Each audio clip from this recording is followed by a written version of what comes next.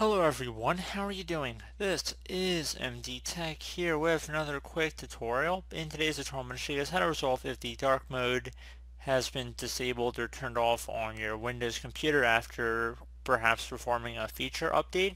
So it should hopefully be a pretty straightforward tutorial and without further ado let's go ahead and jump right into it. So we're going to go ahead and start by opening up the start menu, just left click on the start button one time.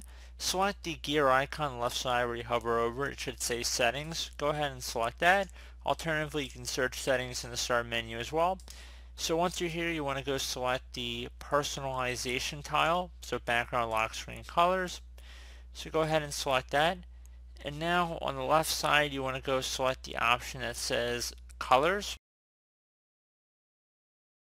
And now where it says choose your default Windows mode, select either light or dark mode. And you could also change your default app modes, whether it be light or dark. You can see it's pretty straightforward. So I do hope this brief tutorial was able to help you guys out and as always thank you for watching and I do look forward to catching you all in the next tutorial. Goodbye.